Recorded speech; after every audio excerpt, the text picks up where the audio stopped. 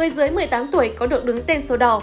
Luật hôn nhân và gia đình năm 2014 quy định, con cái hoàn toàn có quyền sở hữu tài sản riêng, bao gồm tài sản được thừa kế, tặng cho, tài sản phát sinh do thu nhập lao động của người con.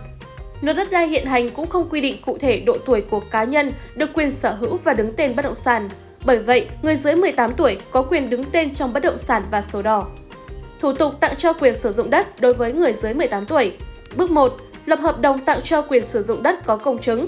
Hồ sơ gồm phiếu yêu cầu công chứng, hợp đồng tặng cho, giấy chứng nhận quyền sử dụng đất được cấp, giấy khai sinh của người dưới 18 tuổi. Bước 2. Nộp hồ sơ tặng cho quyền sử dụng đất tới Trung tâm Hành chính công. Bước 3. Thực hiện nghĩa vụ tài chính nếu có. Bước 4. Trả kết quả trong vòng 10 ngày kể từ ngày hồ sơ được thông qua.